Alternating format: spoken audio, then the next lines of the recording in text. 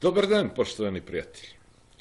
Znam da ste dobro, a uvjeravam vas da ćete biti bolje. Ćete biti bolji. Čak vas uvjeravam, a Disneyland u tome pomaže i tek će da pomaže da ćete biti odlični. Sad hoće li vam biti odlično i to će zavisiti što od Disneylanda, ali dominantno od vas. Jeste. Pomaže Disneyland. I ubrzano u ovoj fazi povećane efikasnosti Disneylanda pomaže Disneyland puno. I ne brinite, pomoći će još više. Zbog čega ja tvrdim da ćete biti odlični? I zbog čega znam da ćete biti odlični? Čak i ako možda nekima to ne djeluje ili smatraju da ne moraju da budu odlični. A, da može onako i polovično da se ide kroz Disneyland. Zbog toga, dragi prijatelji, jer Disneyland pokazuje i pokazuje sve više da ili ćete biti odlični ili vas neće biti. Veoma je prosto. I ako ovo ne djeluje srećno, sročeno sada, vrlo brzo iz dana u dan vas uvjeravam da će vam biti jasnije ako kome nije trenutno jasno. Jasno. Jer suština je prosta. Ili ćete biti odlični ili vas neće biti. Ne ponavljam slučaj. Još prostije, kako smo pričali o tome. Ili ćete biti banovi strahinja i savladati i pobjediti svo licemjerje oko sebe, nezavisno od cijene, ili ćete maštati da budete kraljević Marko, koji je umro kao tuđi vazal, boreći se uz ostalo i protiv nečega što je originalno njegov narod. E tako to ide. Sad, tu je marketing došao i ostala je priča kakva je ostala. Međutim, Disneyland omogućava da u ovoj narednoj fazi sve te priče budu samo priče, a da dijela budu dijela. E sad, teško će ko moći što da dijela, osim ako je odličan, o čemu god da se radi. I nadam se da ćemo u sklopu današnje emisije pokazati koliko u stvari sve konvergira, nezavisno što je to što trenutno ljude drži u nekom nespokoju, ajde da baš tako kažem. Ovo je još najblaža definicija toga. Jer sve je to dio jedne cijeline, sve je to dio jednog sistema. Pa sad, kako do koga dođe? Jeste. U onom najboljem od svih svjetova. Šta smo rekli? Disneyland, najbolji od svih svjetova koji može biti napravljen za idiote. Ovaj, odmah moramo zvijezdica, što znači idioti u onom izvornom značenju, za one nezainteresovane. I sad kako se Disneyland s raznih strana primiče do svakoga, vjerujem da ste sami zapazili da je sve manje nezainteresovanih. Već s nečim ili na neki način Disneyland nađe način da svakoga zainteresuje. Jedino da napomenem još jednom, ne postoje parcijalna rešenja. Pričamo o sistemu vrijednosti. Vratit ćemo se na kraju današnje emisije do ovoga. I ovo je veoma prosto kako god djelovalo sad. Aj sad da vidimo kako Disneyland pomaže i kako maksimalno pomaže. Ubrzano. Što smo rekli? Ubrzava. I pojavio se dokaz i potvrda, u stvari, i da se shvati razlog tog ubrzavanja. I nije ni on ništa o čemu nismo pričali. Kako smo u početnim emisijama Kosmopolitike obradili jednu tematiku koju, žao mi je što se nismo vraćali tek ovako, ali eto, ja ne volim da se ponavljam, jako ljudima vjerojatno djeluje da po pojedinim temama pričamo stalno isto. Ovaj, a to je ona priča o mesojedima i biljojedima, ili kako neko kaže, mesožderima i biljojedima. Pa smo pričali, evo, se obrati pažnja, postoje neke zemlje koje imaju takve, takve kapacitete, a neke nemaju, na primjer. Niti im ne treba, ne oni ih neće uz ostalo. Nekima i brane, nezavisimo, da ne zalazimo dalje. Pa smo pričali o onim nuklearnim silama, pa ko, kako, koliko, koliko ko čega, što ko s tim može ili ne može. I rekli smo da i to čak ne treba da bude neki parametar, pogotovo u budućem svijetu, i da se u stvari sva priča svodi na to ko će moći da se ovaj takmiči, projektuje svoju moć ili se brani iz kosmosa uz ostalo da posjetimo tudi priča kosmopolitika, ne zbog nekih drugih inačica ili kovanica ovog naziva. Da se shvati da u ovom momentu priča o raspodjeli i razmjeni, organizovanju e, e, raspodjele bogatstva na planeti, jer to ona karta, koju simbolična karta koja obično stoji iza mene, sada ulazi u jednu sasvim novu fazu. I tu je ubrzanje. Hipersonično. Ili hiperzvučno, kako neki kažu. I da iz one ekipe zemalja koje smo notirali kao mesojede ili mesoždere, u stvari u jednom momentu će se izdvojiti nova grupa. To su upravo nekako smo zvali kosmičke sile, skraćeno, koje će dodatno napraviti pritisak na već uspostavljen sistem i poredak raspodjeli razmjene na planeti. I, dragi prijatelji, upravo se to dešava. Da budem precizni, upravo se to desilo. Može sve ovo da djeluje nekome daleko. Međutim, nadam se da, pogotovo prijateljima s koji se davno družimo, sve ovo jasno i bez ovoga o čemu ćemo pričati danas. Jer ovdje se sada radi o jednoj epohalnoj promjeni, čak kompletne konstrukcije Disneylanda. Staće logika njegova ista, ali konstrukcija Disneylanda će biti drugačija. Jer ako ste vi do sada imali svijet, jeste onaj svijet ravnopravnih i onaj Disneyland Ujedinjenih nacija i svim, sa svim pratećim reperkusijama tog Disneylanda, jasno se i u njemu vidjelo ko kosi, ko vodu nosi i ko može, ako treba, nebitno je to da uloži veto ili bez veta da ode da odradi nešto i ostali svirajte već koliko god hoćete, da se ne vraćamo. I rekli smo, treba shvatiti da ovdje sad Sjedinje američke države i Rusija mogu da rade već što god hoće, to je što se dogovore u nekom svom omjeru. Jednostavno, mogu oni da guraju i jedne i druge na trećim mjestima i na nekim čak možda i bitnim mjestima, ali u nekom momentu će uvijek sjesti zajedno i reći ajde se mi dogovorimo jer nama je dobro, zašto bi mi ovo sve spržili. Pa ajde nađemo mi neko rešenje. Da i vuk bude sitni i ovce na broju. Međutim, da napomenem, vuk je mesojet ili mesožder, a ovce nisu. Pa vi sad vidite u tim dogovorima koji se naprave da vuci budu sitni, a ovce na broju, šta se zbiva? Može to da se kaže po onoj, pojel vuk magarca, isto vam dođe. E to vam je ovaj dosadašnji dizon. I sad, da se vratimo na ubrzanje, što je sad novo.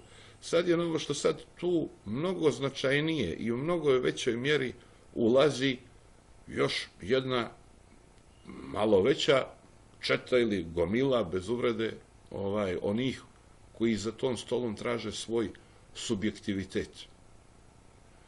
Jer kompletnu priču i dosadašnjeg i budućeg svijeta i organizovanja i kontrole one raspodjele bogatstva, gledajte kroz priču o objektima i subjektima. Što znači imati subjektivitet, a što znači biti objekt. I u ovoj priči sada se ide dalje i to se otišlo radikalno daleko. Dakle, da se vratimo na kosmos. I sad, ljudi tu, u tome se mnogo i ne javlja, da ne kažem da se decenijama unazad djelovalo da to već nije mnogo interesantno ni onima koji su razvijali takve mogućnosti i um, sadržaje prije. Ovaj, čekaj, Milice, doće i tvoj dio kad dođemo do Južnih Slovena. Samo polako, nemoj da praviš probleme, a već ih praviš. Dakle, u toj priči nije toliko bitno koliko i što ko priča, nego koliko i što ko može. Uz ostalo govorili smo da treba shvatiti da u održavanju poredka nije bitno samo ko je najjači, bitno je koliko i ko štete može da napravi.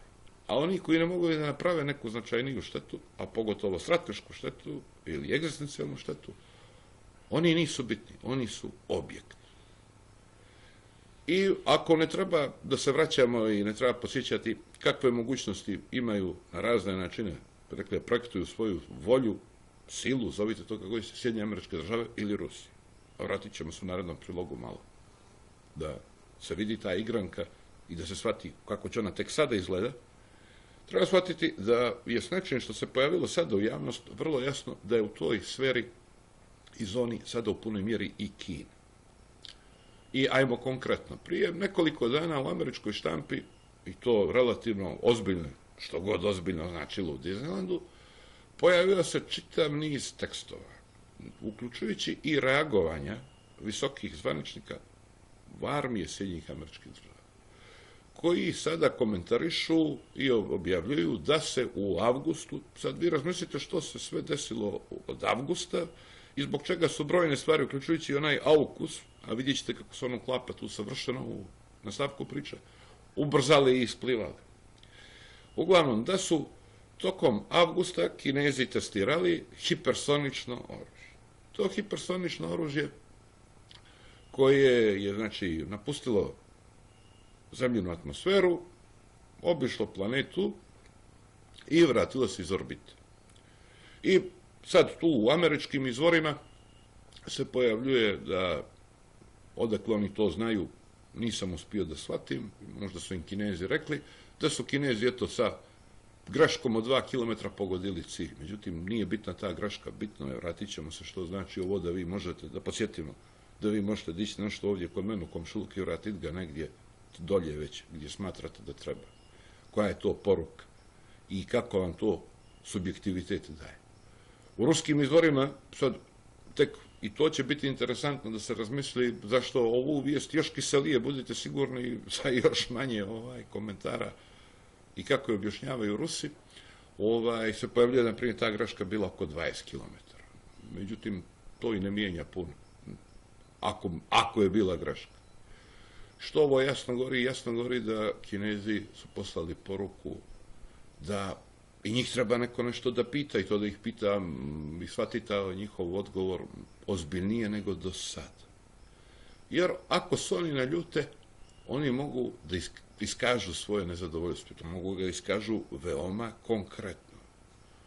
Mogu, možete vi da pravite kakav god da ćete Disneyland, ali mi ćemo se pitati nešto u njemu i pitaćemo se vjerovatno još nešto više nego do sada.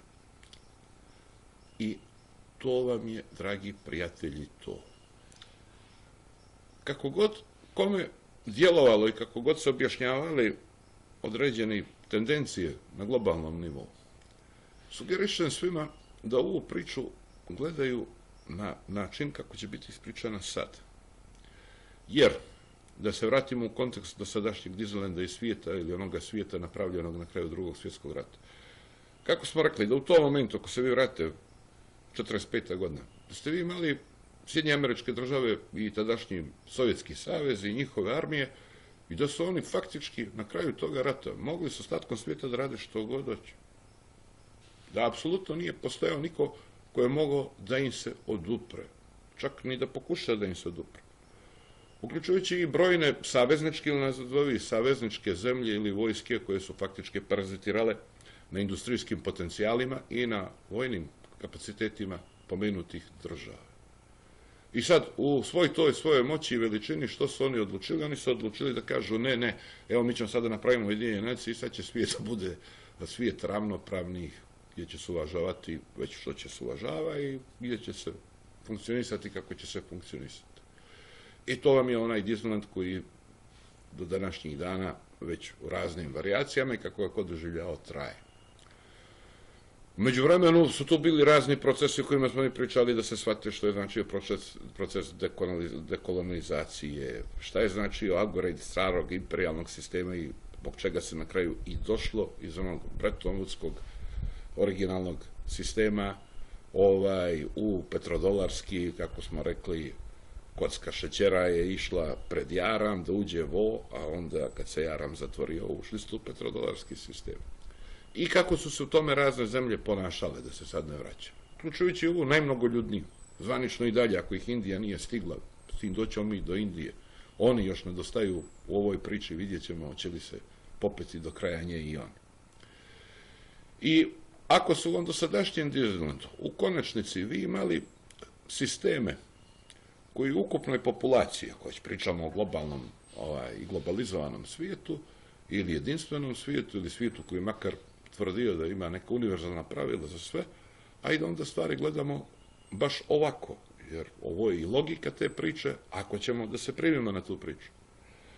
Da vi imate dvije zemlje koje otprilike imaju 6 do 7%, na primjer, globalne populacije, imaju preko 90, ako ne i 95% nuklearnog arsenala. To su inače zemlje koje su izuzetno bogate resursima. Tako da one faktički mogu da budu i samodovoljne ako hoće, kao što Rusi hoće.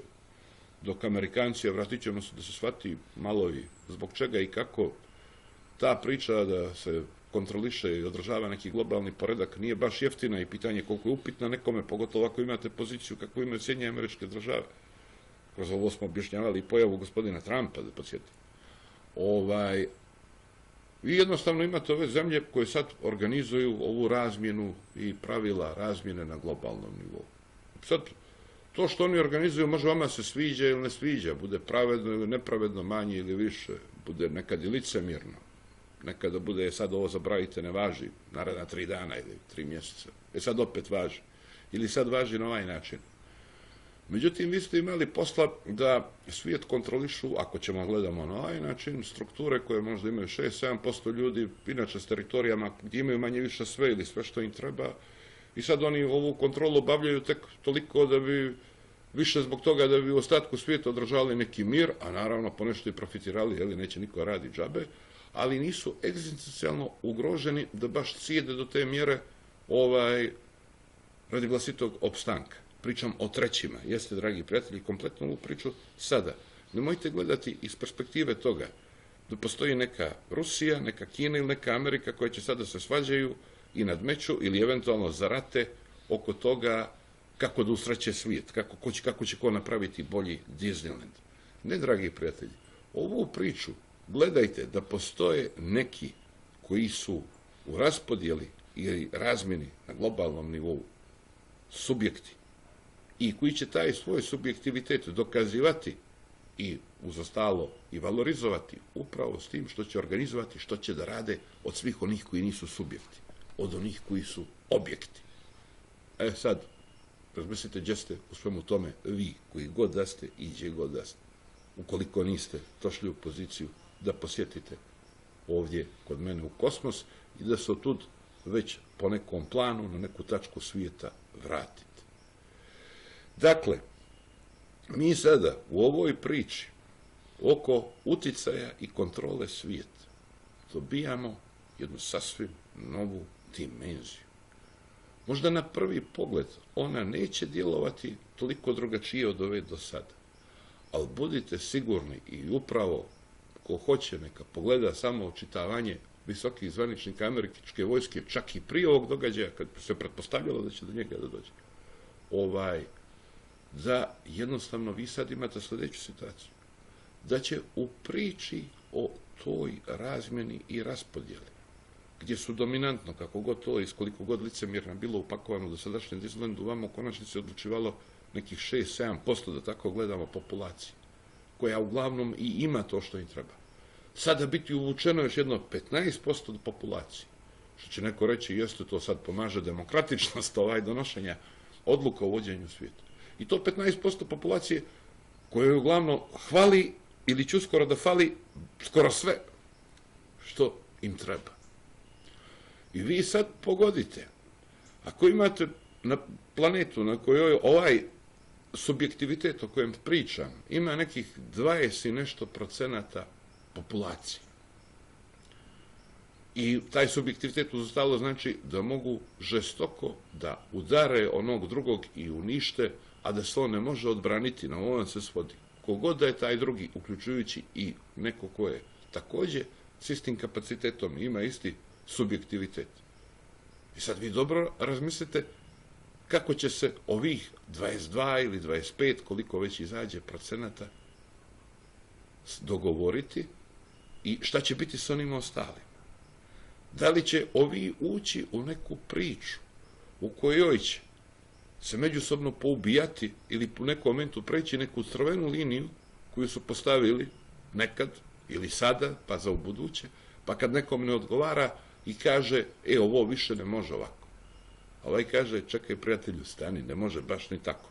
I pogodite gdje će oni nalaziti kompromis. Oni će nalaziti kompromis upravo u gutanju svih ostalih. Što ubrzo stalo, pa, i pošteno, jer pričamo o subjektima i o objektima. I ako jedna pravila e, vrijede za subjekte, sad razmislite koliko je to normalno da ista pravila vrijede i za objekte.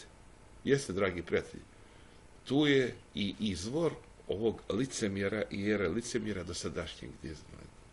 Jer je našao načina da one koji su po svim parametrima ekonomske zavisnosti, vojne nemoći i tako dalje, objektivno objekti, ubijedi da su stvari subjekti nečega. Ne, dragi prijatelji, oni su subjekti u onoj mjeri koliko je subjekt hrana na stolu ispred vas. Eto, dragi prijatelji, ovo vam je priča o svijetu i ovo vam je priča o svijetu koji je ispred nas.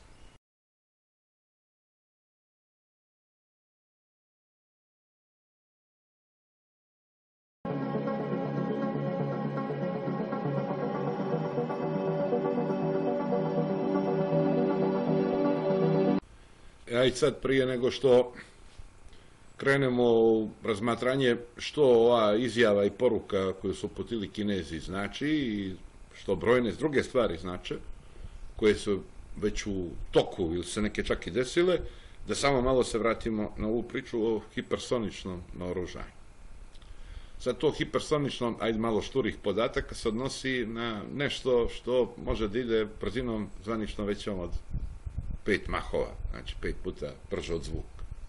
Sad imate vi naoružanja koja idu mnogo brže, i osam, čak i deset jače puta brže od zvuka, i imate balističke projektile koji idu otplike i jače od toga neki, međutim, klasični, konvencionalni, ako se sad već treba pomiriti, već odavno da se i ovo naoružanje treba smatrati konvencionalnim, ovaj, su imali tu manu da su imali predvidljivu trajektoriju. Pa sad, s druge strane, neko ipak ima određenu šansu, koliko god ona, pored sve propagande, nije velika i da to notiramo, da nešto tu radi i da eventualno spriječi.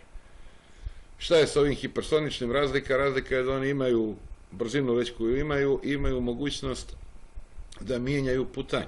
A pogotovo ova priča, to su Rusi demonstrirali u nekoliko navrata u zadnje 3-4 godine, da vi pošaljete nešto u kosmos, čak Rusi imaju ovaj sredstvo koje može da poleti, ima nuklearni program, može da leti gore koliko god doće obstaje i u nekom momentu se samo spusti gdje treba da se spusti. Može kod nadležnog ako treba. Pa sad neka nadležni razmišlja kako upravlja. E to vam je poruke, dragi prijatelji. To je slanje poruke. I sad su i kinezi rekli, imamo mi mogućnost da pošaljamo poruku. Ovo sad mijenja kompletnu koncepciju brojnih stvari. Uz ostalo, blizu ovoga se odavno došlo. Kinezi već skoro deseta godina pokazuju na svojim vojnim paradama određene raketne sisteme sličnih kapaciteta, jedino nisu išli u kosmos e, i nisu se vraćali ovako kao ovaj. Ovaj, ali, na primjer, smatralo se da je dovoljan jedan, da, na primjer, riješi američki nosač aviona, čak i sve sa pratećom flotilom koja bi trebala tu da bude da ga štiti. E, tako pa ajde se takmičimo. Međutim, ovo je neuporedivo moćnije. Ovo je nešto od čega, ne samo trenutno, nego čak ako se pogledaju i zakoni fizike i brojne druge stvari, vi teško možete se odbraniti i u perspektivi. Gotovo nemoguće. Uz ostalo, ovdje samo da notiramo, ovome smo pričali negdje prije 4-5 godina, da se vidi koliko je u stvari bilo opušteno i da je tu bio naš maneken gospodin Donald Trump, veoma u pravu kada je kritikovao ponašanje svoje zemlje, koliko se bilo opustilo u tom raskošu potrošačkog e, društva i koliko je, što bi rekli, ono, salo ušlo u mozak, ovaj, pa se nije razmišljalo o brojnim stvarima, onako pušteno se vodio svijet kako se vodio, pričamo iz pozicije centrale, pa se tu pojavljala i korupcija u brojnim ovaj, e, programima vojnim, da se sam, brat, podsjetimo samo na onaj F-35 i da ne nabrajamo cifre i što se za to na kraj dobilo nešto što ponekad može i da poleti, pitanje kako leti, ovaj, jer jednostavno imali ste premoći, imali ste postavku sistema i one razmjene i raspodjele koja nije, nije niko mogao da postavi upitno. Mogli su Rusi. Sad se mnogi čude zašto Rusi su neke stvari pristajali. Uz ostalo se vratimo na ključno pitanje da bi se shvatilo ponašanje Rusije u dosadašnjem Disneylandu, a ovo je sad bitno da bi se shvatilo ponašanje Kine u budućem Disneylandu i odnose u ovom krugu ovih kosmičkih komšija mojih, ovaj, Pa, Rusima je, budite sigurni, odgovarao ovakav svijet, kako god to djelovalo iz perspektive raznih priča i Disneyland priča na koje su ljudi navikli i koje se i dalje plasiraju. Jer svijet u kojem je napravljena podjela, pogotovo su oni to ukapirali tamo uvođenjem petrodolarskog sistema, uz ostalo rekao sam da se razmisli zašto tadašnji, zovite ga istočni ili kako god ćete blok, pristo relativno, imali su oni kapaciteta da onu priču o vođenju petrolarskog sistema sasvim drugačije se postavi, nego što se postavi. I da li je slučajno što je odmah nakon implementacije petrodolarskog sistema 70. godina drug, ne možemo reći gospodina, ali da kažemo već kako kome milije, ovaj, Brežnjev počeo da nudi i najavljujeće god stigne kad ode ili u Veliku Britaniju ili u Ameriku, da u stvari Rusi povuku svoju vojsku s istoka Evrope. Pa se posle da izdešavalo što se izdešavalo, se ne vraćamo, pričali smo mi to objašnjavajući brojne stvari u Disneylandu, da se ispravno shvati ti procesi i što znači. Jer jednostavno, iz perspektive, ako imate nekoga ko ima ovu mogućnost, on onda jednostavno može da kaže, čekaj, ja sad mogu da proberem što je meni bitno. I to bitno su neke crne linije nakon kojih ja, ako treba, aktiviram. Evo. Ne daj Bože, imaju Rusi, pričali smo o onom perimetru, onoj ruci iz groba. Pa ti sad majstora si igraj kako igra. Ovo ostalo, ja ću da procijenim koliko mi što košta ili ne košta. I zavisno od toga, ja ću nešto da pustim niz vodu, nešto ako procijenim da je veća dara nego mjera, evo. I uglavnom, tom putanjom bi se napravio haos. To je ono zbog čega su brojni, čak uključujući i neki koji su veoma bliski stajalištima fundamentalnim one političke pojave gospodin Trump upozoravali da ukoliko se Sjedinje američke države iz one uloge, što god ko misli o njoj, ovaj, policajca ili vođe, kako god ćete svijeta, povuče naglo da može nastati haos. Jer da se sad vratimo malo na ovu rusku poziciju, iz nje će se jasno shvatiti trenutno američka. I sad vi odlučite, vidi, mene je bitno ovo, bitno mi je Srednja Azija, se ne vraćamo zbog svih ono parametara koji, bitno su mi ove stvari, bitno mi je to i ajde, pušti ovo ostalo. Sad da se ja tu trošim i trošim resurse i mučim se da održavam neki Disneyland i, ili da se svađam i bijem s njima pulicama, šta će meni to? Ovaj, I sad vi onda, ako ostavite prazan prostor, tu možda se pojave razne stvari, pogotovo ako vidite neka istorijska iskustva s nekim zemljama, da ne nabrajamo sad nijednu posebnu. Pa neka može da krene se razvija i ona u nekom pravcu doći ona da jede meso i slične stvari, pa može i da počne da nam pravi ozbiljnije probleme. I sad njih bi bilo malo više i ima ih više, budite sigurni, samo pogledajte kartu svijeta, to nije trenutno iza mene, ali inače imate mogućnost da je pogledate. I onda vama iz te perspektive, vama u stvari najbolje, ako postoji neko nadležan za sve to, neko ko će ih da drži u zonu biljojeda, sad vi razmislite o Japanu i Njemačkoj i ostalima koji se odriču onako svjesni i puni ovaj veličine i razumijevanja i humanosti, na primjer nuklearno naoružanje. I sad, što rekao, kako poček, ima neko nadležan koji će sve ove da drži u zoni biljojeda. E, da im napravi Disneyland, i da ih drži u zoni da su biljojedi.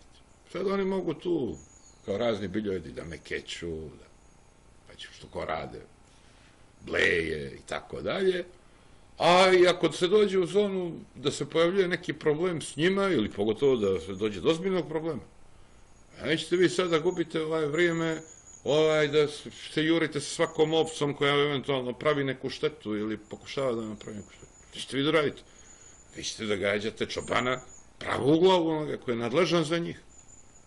I upravo je zbog toga pozicija Rusije bila lagodnija nego Sjedinjenih američkih država u kontroli dosadašnjeg svijeta. Zato su Amerikanci često pjenili, da sad ne se vraćamo u razne situacije ili citiramo razne američke predsjednike u raznim fazama. Jer jednostavno oni, sad nije ih niko čerao, sami su to htjeli da budemo objektivni, oni došli u poziciju da moraju da održavaju red. I sad vama je to dobro, međutim, kao i uvijek i u svemu, vama određena prava i određene privilegije vuču i određene obaveze. Vuču i da nešto radite. I sad, ako ste učitelj, morate na što ove da učite, ili ako nisu dobri, da ih nekako sankcionišete. I povrh svega toga, ako oni prećeraju i naprave neku nepodopštinu koju onom drugom subjektu koji ima subjektivitet ne odgovara, Posljedice toga možete platiti vi. E to vam je jedna poruka iz 2014. kad se u Ukrajini počelo dešavati što se desilo, Rusi odradili što su planirali da uradi i rekli, e, ko krene na nas, mi mijenjamo koncepciju i strategiju zvaničnu odbrane, prvi upotrebljavamo nuklearno oružje. I odjednom niko neće ratu iz Ukrajine. Pa naravno da neće. I mogli bi mi sad u elaboraciji ove priče o objašnjavanju dosadašnjeg Disneylanda da pričamo i pričali smo, a mogli da pričamo kako hoćete. Međutim, nadam se da je suština priče jasna, već na ovom nivou. I sad, vi dolazite u zonu, dolazite u zonu da se tu sad pojavljuje Kinez. Kinez. A i da je jedan, njih milijardu i ovaj, I on kaže isto ovo, vidi, ja sad ne moram više. Ovo kao do sad. I upravo zbog toga posjetimo onu priču. I sad je on u poziciji da on traži neke druge paritete. Neću ja više radim pod uslovima koje sam radio do sada. Neću. Do sada pržio svoje resurse, nabavljao druge, uništava vlastitu zemlju za razne stvari, uključujući da podsjetimo i one rijetke elemente, ali nećemo sad o tome, ovaj, ali znamo se shvati. Sad kaže, ma neću, ne moram ja više, ne moram radim po ovoj cijeni. Zašto ja da radim da bi trošio sve ovo i eto. Da bi vi imali, da zabavljate vlastitu publiku, ovaj, i eto ja s tim vašim papirićima već nešto što me pustite, a ne pustite me uvijek kupim što mi treba ili što mi se sviđa ili što smatram da je bitno. A ne pustite me uvijek da kupim, da podsjetimo i to. I sad su oni u zoni da mogu traže neke nove paritete razmjene. Bilo kada se priča o odnosima u ovom, za ovim stolom subjektivnih, a bilo što se tiče čerupanja onih objekata. To je sva priča. I sad, naravno, ovo vam je sad jedna rekli, zategnuta partija. Onaj drugi u nekom momentu može kaže, čekaj, prećerao se, stani sad. Pa mogu ja ovo da raznesem. Znači, gledajte ovo kao sto kojem, za kojim sjede, evo sad trojica, koji u svakom momentu, ako se ne ne mogu taj sto da prevrnu. A na tom stolu svima fino. Ima da se jede toplo okolo i njima fino. I sad, razmislite da li će oni streljati da se pobiju i da prevrne taj sto i onu trpezu, kako smo mi često slikovito za razne stvari, a u prvom redu za energonositelje govorili trpeza, mislite vi sad da će oni tu trpezu da prospu zbog toga da bi se nešto nadgornjavali i dokazivali publici u Disneylandu ko je bolji. Ili će oni, koliko god bilo vike i vriske i koliko god se najeli ili zapili za tim stolom, gledati da ta trpeza ostane tu. Pa je sad ko što s nje dovati zavisno je li od dosadašnjih dostignuća i mogućnosti da ugrabi ovaj koliko ko ima ruku trenutno. I to vam je ta priča. I sad iz ove perspektive. Sad, na primjer, ako kinezi procjenjuju da njima taj Tajvan treba. Ako ništa drugo, treba im da zabave domaću publiku, zbog čega sad mnoge stvari na koje nisu navikli, to je da se dešavaju, dešavaju, let, dobili ste Tajvan. I njima to treba. A s druge strane, u ovoj priči o gašenju potrošačkog društva, što treba više do Americi, taj Tajvan. I onako se svi žale da nedostaje čipova i da ih je sve manje i poluprovodnike i raznih drugih stvari. Šta će vama to? I, na primjer, ako pređu tu granicu koju je Amerika postavila i oni sad napadnu Tajvan. Što će sad Amerika da uradi? Će Amerika da uđe u sukob koji gotovo izvjesno da završi ako kulminira ovaj ratom, koji može lako da dobije ako bude lokalni rat ili će da rizikuje suđe u globalni ovaj, nuklearni rat koji prijeti da se razori sve. Uključujući se razora i on. Ili će reći, dobro, ajde, ovaj put je bilo ovo tako. Mi možemo da živimo i sa tim da vi uzmete tajnu. Čak što više, ako je u toku, a mi tvrdimo da jeste objašnjavamo sve što se dešava, ona priča gašenju onih energetskih vampira i raznih drugih vampira, može uz Tajvan tu da ode još što što. Stalo da notiramo vijest koja se pojavila prije deset dana da su iz uh, voda koje slove kao isključiva japanska ekonomska zona, to baš nisu teritorijalne vode, ali nešto približno tome, ovaj, Rusi iz podmornice lancirali upravo jedan ovakav ovaj, projektil prije nekih desetak dana, rekao. A, tako, tako da se jave i on. Da podsjete ko je bio prvi. I što sad? u svemu tome, ovima subjektima, primarno bitno, a što im je sekundarno, to je sad u stvari ključno pitanje. E upravo na tom mjestu sad isplivava onaj aukus, to jest ona naša priča o američkom Commonwealthu.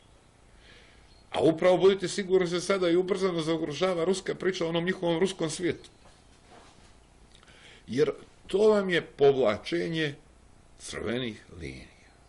I jasna poruka, e, u ovoj zoni mi reagujemo punim kapacitetom. A zna se kakav je naš pun kapacitet. A sve ostalo, što bi rekli, može da bude, ne mora da znači.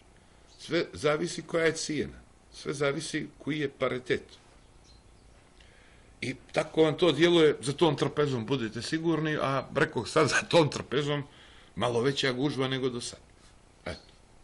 I pogledajte sad, imamo gašenje potrošačkog društva, gašenje hiper, one hiperprodukcije, kako smo rekli, što znači da će svega biti manje, a u onoj priči oko raspodjele će biti više onih koji mogu da naprave štetu, da prevrnu trpezu, ako ništa drugo.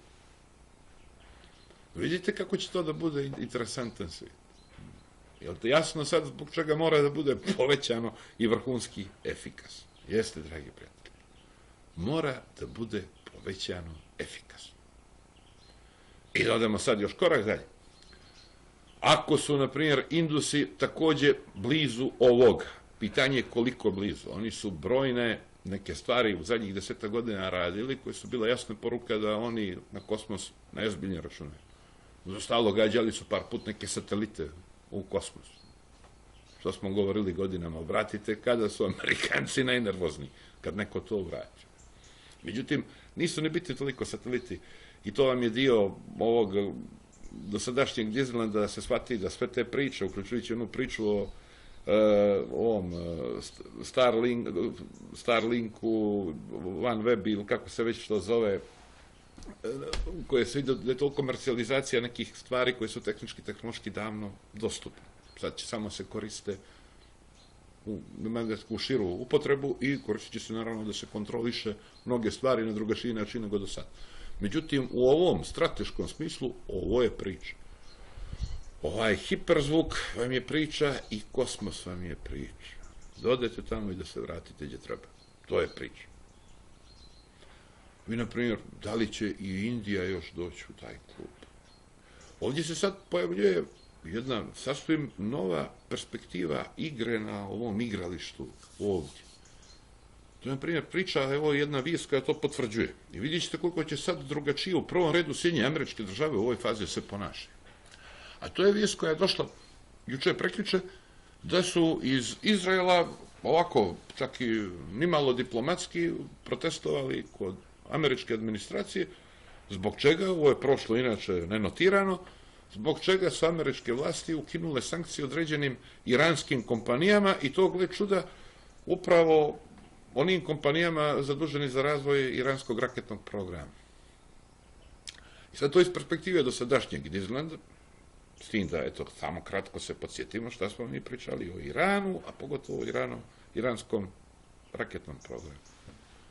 Ovaj, da treba shvatiti da iz perspektive onoga kako smo mi objašnjali koje su zemlje bitne, koje su moćne, šta znači moć, šta vam daje bitnost, šta je to što je bitno, i imate li vi kapaciteta da u nekom momentu postanete onaj koji u stvari suveren u punoj mjeri da odlučuje što će se dešavati, u stvari vama je Iran uz Sjedinje američke države i Rusiju zemlja sa najvećim potencijalom da bude suverena i to u potpunosti suverena čak i u ovom smislu subjektiviteta ako dostigne tehnički, tehnološki ovu priču o kojoj pričamo, zemlja kad pogledate njihovu resursnu pozadinu, a pogotovo kad pogledate u regionu u kojem su oni, što oni tek mogu da budu, malo pogledajte istoriju, malo pogledajte konfiguraciju i strukturu okruženja, I kad pogledate što je tu i kad vidite u stvari da od te energije na koju mi smo gledali da pojednostavimo priču, oni strateški, dugoročno, pogotovo ako bi bili oni ti koji kontrolišu i vlastite, a i susjedne tokove i eksploataciju, da oni faktički u Sjednje američke države i Rusiju jedina zemlja koja može bude samo dovoljna. Da su sve ovo stalo zemlje, svaka čast svakome, međutim zemlje koje nemaju po raznim osnovama kapacitete da tu samodovoljnost ostvare sami, već moraju u nekoj mjeri, a pogotovo za ovo najbitnije, zavisiti od toga da ga negdje uzme ili da im ga neko da, već da im ga da po nekoj cijeni, što go ta cijena bila, da nešto uradi ili da nešto plate.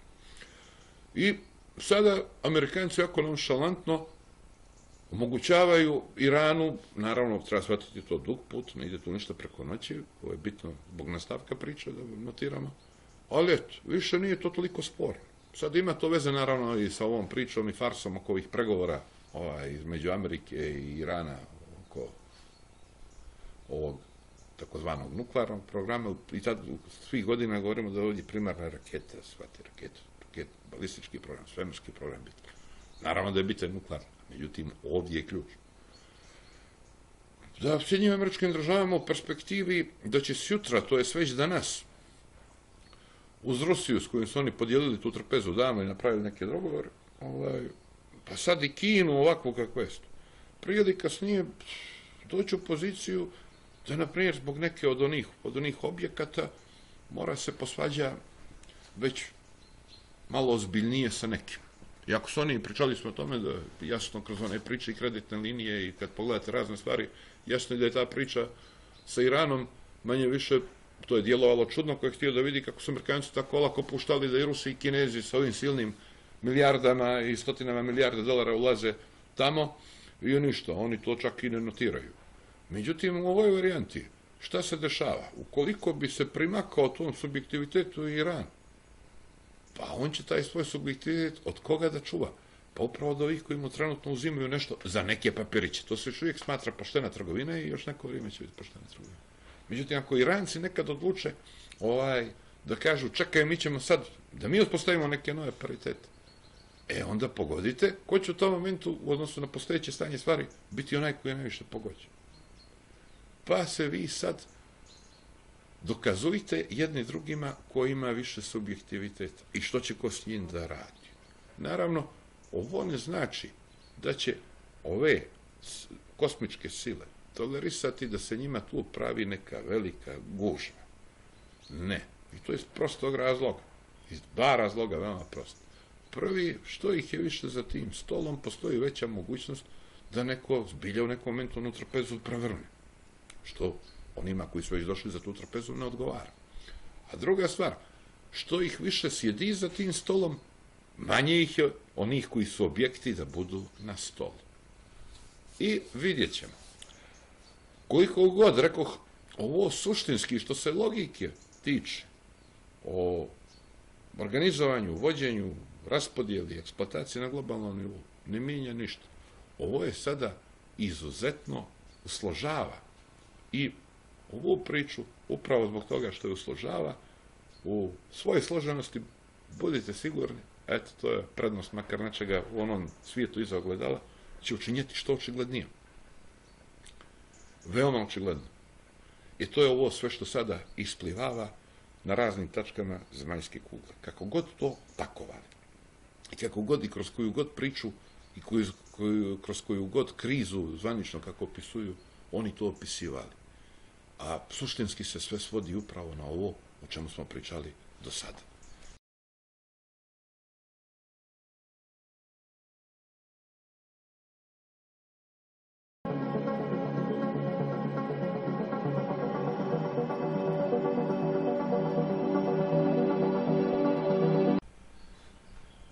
Ako je ovako kako pričamo, ne samo u današnjoj emisiji, današnja emisija je samo retrospektiva i eto, dodatne informacije se vidi da na budućnost već uveliko počela, da je tu, ne, što nije budućnost, to je već sadašnjost, neki bi rekli stvarnost. Vi sad, kako se ja volio da govorim, se obraćam onima koji razumiju, koji god da su naroda, plemena, već, kako se što zove, rekli, vraćamo se svojima. Ovaj, treba razmisliti što u svojom ovome, u ovom svijetu subjekata i objekata i ove trpeze ili više tih trpeza, što u stvari slijedi. Pogledajte što je bilo i do sad, pa vidite što će da slijedi. A pogotovo, rekao smo, ako je sve povećano, ubrzano, efikasnost podignuta. I iz te perspektive da ja uputim jedno obraćanje južnim Slovenima. Ja danas o njima mnogo toga interesantnije i bitnije i zabavnije od ovoga o čemu mi ovdje pričamo. Legitimno je. Sad koliko je pametno, neka bude i da je pametno. Međutim, pomaže Disneyland i pomoće Disneyland da se to sve shvati. Prije neki dan jedan dragi prijatelj, čovjek kojega sam upoznao upravo kroz ovo što je kosmopolitika. Da ga ne hvalim i napisujem po više parametara u svim fazama života. Odlično što bi ja rekao čovjek. Bez ove priča što se dešava kod njega u njegovom dijelu kosmosa u jednoj regiji u Srbiji, objašnjava uz ostalo kako sad imperija dolazi, što radi, kako se ponašaju domoroci, što se zbiva. I sad sve su to klasične priče i sve su to, nažalost, tragične priče. Tragične priče. Ovaj, jer vi vidite da u stvari kad na toj trpezi dođu po vas, vi ne možete ništa. Što smo rekli? Vi pojedinačno možete vatati neke krivine sa što stalazite, ali ne možete ništa. Iako niste dio neke zajednice, makar ta zajednica bilo vaše selo koja će imati neku koordinisanu i jasnu, što bi rekli, neki jasan plan igre, šta da radi kad đavo dođe po svoje i kako da radi, znate kako ćete da prođete, nažalost. I pogotovo ako ta zajednica nije opet u nekom dijelu šire zajednice, pa ako to vaše selo nema pozadinu i podršku neke šire zajednice, neke države, na primjer, što vi najčešće imate? Vi tamo najčešće imate na nečemu što se zove država, da sad ne zalazimo i o priči o decentralizaciji i centralizaciji novim prostorima, koja nije slučajna u sklopu udbaškog pozorišta, ponavljam, ništa slučajno nije ovdje urađeno. Ovaj, I vi sad tamo gdje bi formacijski trebali da imate neku podršku kada sa tom trpezom imperija dođe po vas, mora imperija da bude američka, može bude i kineska, sad neki ima možda to milije, nema veze. Eto, neka vidi. Ovaj, vi u stvari umjesto neke podrške ili zaštite, vi ćete ne primat obstrukciju, najblaže račan. Da ne kažem da je možda neko upravo vas i neku vašu zajednicu prodao da bi riješio neke druge probleme. Nekad. Neće. I to je, dragi prijatelji, priča ako se nema plan igre i ako se nema organizacija. Kako? Da se ova igra igra. Veoma prosto. I ta organizacija, taj plan igre će da traži da budete odlični. Da svako bude maksimum od onoga što može da bude pa čak i više od toga ako treba. Sad to je zahtjevno, ja to mnogo zahtjevnije od onoga što je dosadašnje Disneyland ljudbaško pozorište naučio ljudi. Samo vi budete dobri. Sad čekajte malo, strpite se, bit će dobro, evo malo ovoga, malo ovoga, ide ona korupcija naroda, stvari idu gdje idu, efikasnost zajednice i sistema stiže gdje stiže, procijenite sami i tako vam to ide. Sad vidite kako će sve to tek da ide u ovom novom Disneylandu povećana efikasnost. Kako će iz ove faze koju do sad najbolje bilo pisati do sadašnjeg ovog petrodolarskog sistema, potrošačkog društva, dužničke ekonomije, koje je najbolje shvatiti kao fazu kuvanja žaba. A sad kad se skuvanja pređe na neku narednu fazu, pa neko procijene, žaba je kuvana, sad da podsjetimo neki jedu i žabe, neki jedu i kučići i mačići, sad može da se pojede, dovoljno je skuvano. I onda neko kaže, a, sad treba ovo malo i zapeći. I ako ste objekt, koliko se vi pitate što će ko od vas tu da sa vama u stvari da nešto radi. A sad, ako se makar trudite i pokušavate da budete subjekt, a subjekte možete biti ako niste ozbiljni, to budite sigurni. Možete vi ovako da djelujete, da se ponašate opušteno i ležarno, morate biti ozbiljni. Jer morate doći do određenih kapaciteta i određene nivoa neke moći da makar onaj jači dobro razmisli što će i kako uzeti od vas.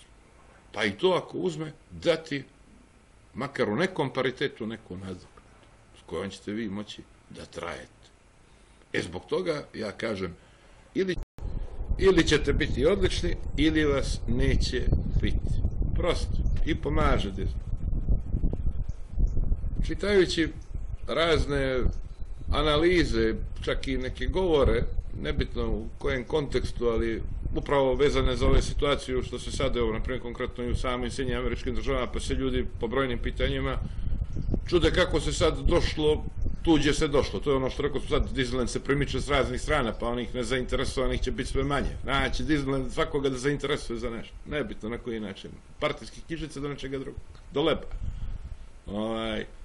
I kako se došlo do ovde? Pa kaže, došlo se do ovde zbog kukavičluka. Odavde se može jedino sa hrabrošću. E sad, dragi prijatelji, vi razmislite, nebitno koji vas segment, iz koje strane se premiče Disneyland, razmislite vi kako se došlo do ovoga. Lako ćemo, tako je došlo, lako ćemo. Kako se došlo, ko vas je doveo, na koji način, kojim tehnikama, kojim metodama i budite sigurni da jedino sa svim suprotnim možete ovaj, da izađete iz toga. Prosto rekao ja prije neki dan. Ovi su manje više sve što treba naopako izveli. Repertoar su i Arsenal primjenili gotovo do kraja. Mogu oni naći još po nešto novo, ali glavno je tu. Pa vi sad kako hoćete. Hoćete li da ovaj prepuštate da stvari idu kako idu, da kažu ne, hoću drugačije. Čak pušti mene, moj ti nema relativizaciju. Može zajednica da ima duga, da nema imovinu. I tako dalje, i tako dalje. Čekaj, ima prvo, što je zajednica? Ko je zajednica? Ajde da definišemo to, makar jednom da znamo koji smo. Koliko nas ima, ne bi. Evo, neka budu svi, ali onda to znači to i to. I tako dalje. Prosto je, pričali smo o raznim formatima. Nije to mnogo komplikovano. Naravno, tu je Disneyland, da to što nije mnogo komplikovano, ili se zaboravi ili djeluje komplikovano. Međutim, rekao smo, Disneyland sad ulazi u fazu povećane efikasnosti, pa kako ko hoće. Vidjet će, i ko neće da vidi. Jeste što spomenu ovog prijatelja, kaže, e, sad sve više ljudi na poslu ponesem, pa pustim, kaže, sad te bolje razumijem. Ma razumijeli su oni i do sad, ne boje se. Ali nije interesantno, nije zabavno, šta će. Ovo nekad, pogotovo bojim se i ova emisija ovako može da djeluje kako kome, on ima dobrima, kao evanđelje, ima drugima što da i prepade, ko će da sluša. Pušti, dajte da se mi nešto zabavljamo. I to vam je manje više to. Idemo mi dalje. Jer, što je, na primjer, bi, eto, obično svoje mačke ulazile u kadar slučajno, aj, to je ne slučajno, nego mimo moje volje. I sad, na primjer, Milica, tako je to. Inače, mene južni Sloveni posjećaju na mačiće. Zato sam ja ođe napravio, za stalo dozvolio, to je da se napravi uzgajalište mačića. Me to posjeća na južni Sloveni. Jer oni najviše ovako, ako pogledate, pogotovo trenutno, liče na to. Eto oni bi jedu meso, ali su najsrećniji kad im ga neko da. Ako ne da, nema veze. S da oni imaju kapaciteti i sami bi mogli oni vatiti po nešto, ali dok im neko daje, zašto onda bude odlično? I sad, u ovoj fazi, dok su oni ovako mali i neorganizovani, evo, Milica obično dođe kad je njoj volja, kad je planirano dođe, ona neće dođe, ali na mlađima svijet ostaje, kažem, dobre vijesti, jer umjesto Milice došao je mali. Mali se sad dođe tako, ovaj, udesio da mu je toplo i neće da mrdne. I ovaj mali samo da se javiš južnim Slovenima. Ovaj i sad ovi mačići što rekao južni Sloveni da vidite to je identična stvar. Sad oni su tako mali, slatki ali nemoćni. Znači nemoćni, na primjer ne iđe, kad su mali ne iđe Kolinda, koja je eto, njemački ovčar ili učija, kako se kaže, i sad ona iz igre, ona zbilja nije namjerna, njoj vjerujem, iako, iako i ona njemica ona hoće da se igra s njim i ona procijeni, na primjer, da ona zna gdje je bolje mjesto da oni ovaj, obitavaju nego njihova majka. I krene da ih prenosi. I u tome što je njoj igra, desi se da pridavi po neko. Jeste, Milica, tebi pričam. I što je oni mogu? Ne mogu je ništa. Ili procijeni neko da mu treba i mi mu damo, nosi ga. Koje mogućnosti oni dotiču na svoju sudbinu imaju? Otprilike, koliko i vi, Izvinjavam se svima koje ovo ne tangira. Drago mi je da ima takvi. Međutim, u ovome Disneylandu i u ovome svijetu, dragi prijatelji, to je mjera stvari. Pa vi sad vidite, ovaj, hoćete li vi ovome ostati grupa mačića, koje će već po svom nahođenju malo nekom mazit, malo davita, malo pogotovo vi kinezi jedu mačke, čini mi se, i ne samo oni, ovaj, može neko i da vas pojede, ili ćete vi naći načina se vi organizujete. Možete vi da budete neke malo jače mačke, aj, koje znaju što rade, koje same dođu do mesa, koje znaju i sa nekim mesožderima da se iznesu i ovaj opstanu. I ne znam koliko srećno, ali to vam je to. To je sva priča. Sve ostalo su samo vijesti. A ovo je u stvari igra o kojoj mi pričamo. Kako god vam tijelo.